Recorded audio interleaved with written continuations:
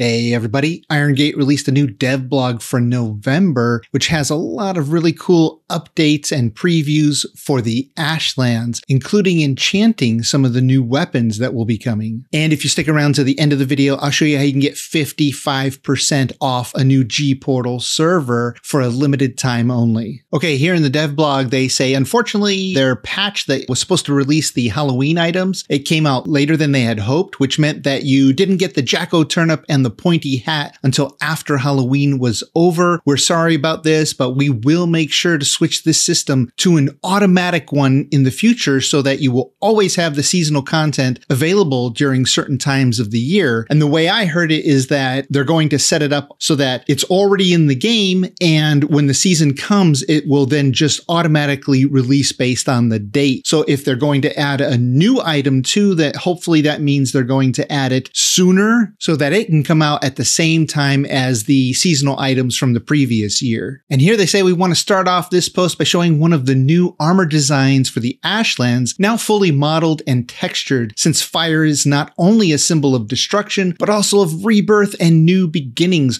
We have named this set after one of the two humans in Norse mythology, Embla. And here we go. We got this image right here. And here's a bright look at it. And over here on the right is the concept image. And I would say that it is pretty close to the concept image that they have here, obviously in the low pixel art style. Few things to work out though. Maybe this ring here isn't quite attached to the hood, but uh, still have time before they put this out. Maybe they'll tweak those little things, but that armor looks pretty cool. And then back on the dev blog, they say, as you may recall, we have said that fortress time will be a central part of Ashlands. This is still the case, and we wanted to show you a current peek of one of the eponymous fortresses. Of course, it will not just be the wall on its own that you have to get past. And here's the image they released. And over here in Photoshop, I'm going to brighten it up so you can get a really good look at it. And there it is. Check out that really cool black stone texture on the walls. I think I can see some of the seams here where this thing might break apart as we siege it with catapults and other weapons that they give us. But uh, yeah, all them spikes look pretty dangerous. And I'm just hoping that we have the ability to build some of these, this type of blocks and, and things on our own, especially this really cool gate. They go on to say here, last time we showed you some weapons that will be added to the game with the Ashlands update. Many of you pointed out that they didn't look particularly particularly magical or special compared to the early concept art, and you are correct.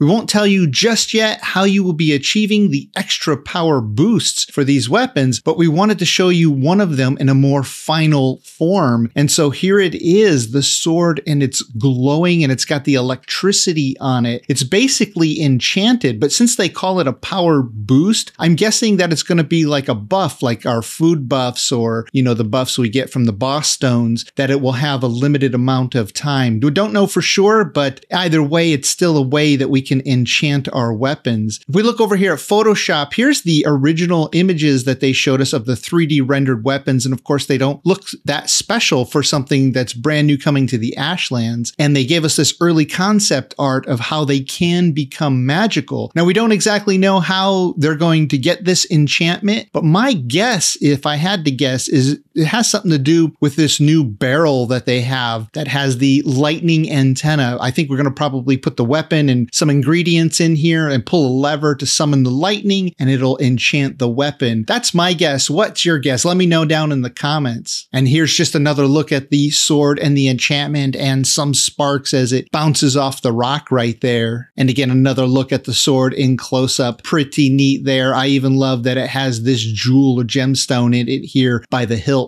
And then lastly, they have a build of the month, a massive castle by A. Gurkis 1. And here it is. Check that out. That is pretty cool. I can only imagine how many instances are here. If I, looking at this, if I had to guess, especially if it's fully decorated on the inside, maybe pushing 20,000 or more. What do you guys think? Maybe at Gurkis1 can chime in and let us know how many instances are in this awesome looking build. I would love to know. And also I'd love to know how it performs on their computer. Okay, and we've reached the end of the video. You want to say 55%? It's only only for this holiday weekend coming up here in the US. We have Thanksgiving on Thursday, Black Friday, and then the weekend and Cyber Monday. So for this extended weekend here, if you go to G Portal's website, but make sure you use my link if you want to get the full 55% off, jiroctheviking.com slash G Portal. You can see here on the timer as a making of this video, it's one day, eight hours, and some minutes. It just ticked over. But this once of a year discount starts on Thursday, the 24th of November at midnight Pacific time. Get in on this window. It's an amazing deal. I even take advantage of this Black Friday sale for my own servers because I can too get to save 55% on all of my servers. I renew them for the full year instead of just doing a day, a week, or a month. I take advantage because this is the only time of year they do this once a year, every year. And every year I take advantage of this huge discount, and you should too. And remember to use my link. All right, that's it for now. Have fun out there.